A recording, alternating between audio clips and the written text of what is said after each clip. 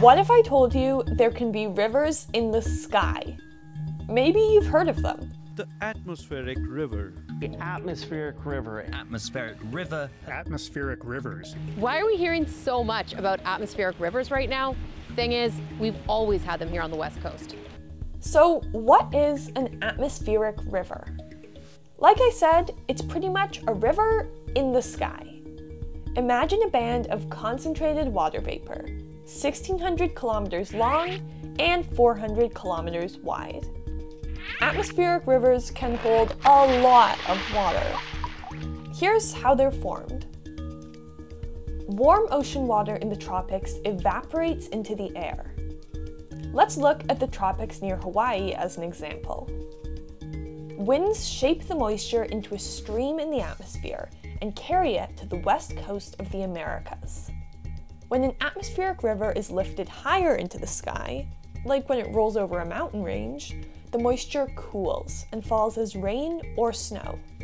As it moves farther, it starts to disperse and becomes weaker. Atmospheric rivers are normal and happen all over the world. They naturally replenish coastal water supplies and mountain snowpacks.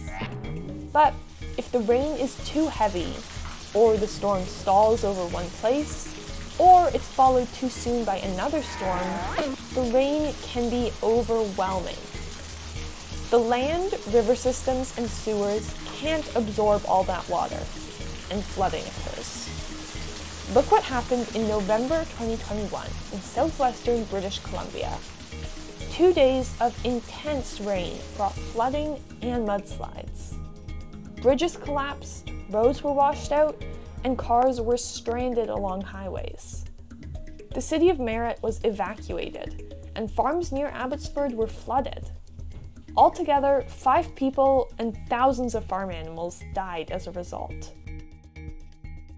Floods that big are rare, but scientists predict they will become more frequent because of climate change.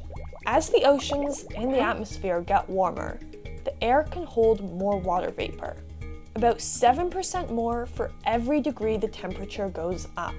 So, climate models are predicting larger atmospheric rivers in the future. The Scripps Institution of Oceanography in California has a scale of 1 to 5 to rate atmospheric rivers. It estimates the strength of the storm and how long it'll last. Ones and twos are mild and generally beneficial.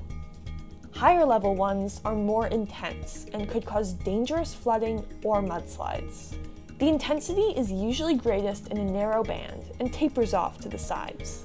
So, an atmospheric river can have different numbers in different places. For more about extreme events in nature, check out cbckidsnews.ca.